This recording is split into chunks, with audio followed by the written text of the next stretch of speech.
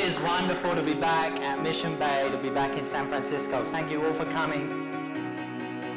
Keep imagining, keep thinking big.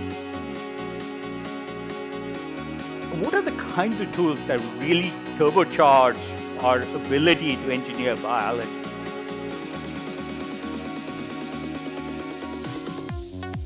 Let's talk about our really cool technology.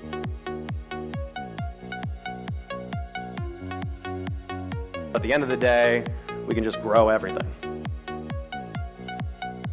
This has been pleasure throughout.